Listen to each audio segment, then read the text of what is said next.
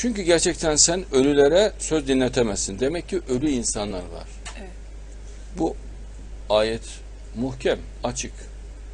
Yani zombi insanlar var. Dışarıda yaşıyor zannediyorsun ama hakikaten eee, robot tarzında. Yani görüyor ama bir robotun görmesi gibi görüyor. Ruhu yok. Ölü yani. Ve arkasını dönüp kaçan sağırları da çağrı işittiremezsin. Onlar da zombi konumunda. Ne yaparsan yap anlamaz, dinlemez.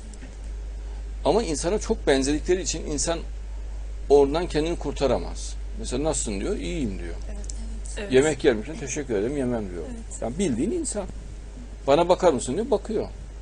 Adam da zannediyor ki ruhu var. Halbuki ruhu yok. Zombi.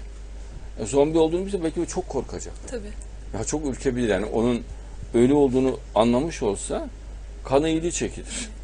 Bayağı ürkebilir. Ama bilmiyor. Allah öyle yaratıyor. Ve sen kör, körleri düştükleri sapıklıktan çekip hidayete erdirici değilsin. Allah özel o tarzda yarattıysa bir insanı, hidayet vermediyse, istediğin kadar anlat, ne yaparsan yap olmaz. Ona şaşıran insanlar görüyorum ben bazen. Mesela adam tebliğ yapıyor, anlatıyor. Hatta bayağı sinirleri bozuluyor anlamıyor diye. Halbuki o granit gibi yahut mermer gibi yahut bir çamaşır makinesi, buzdolabı Evet. gibi yani makine tarzında normal bir insan değil. Ee, sen körleri düştükleri sapıklıktan çekip hidayete erdirici değilsin. Sen ancak ayetlerimize iman edenlere söz dinletebilirsin. Allah'tan korkan özel yaratılmış insan olması lazım. O zaten söz dinliyor özel yaratıldığı için.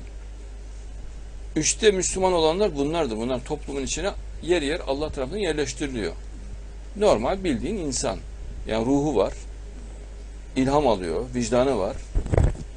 Ee, açık şuura sahip. Ama ölülerle birlikte yaşıyor. Fark edemiyor ölü olduğunu etrafındakilerin. Hatta bazen eşi oluyor. Eşi ölü oluyor. Evli. Ölü olduğunu bilmiyor. Onunla mesela 40 yıl 50 yıl yaşıyor.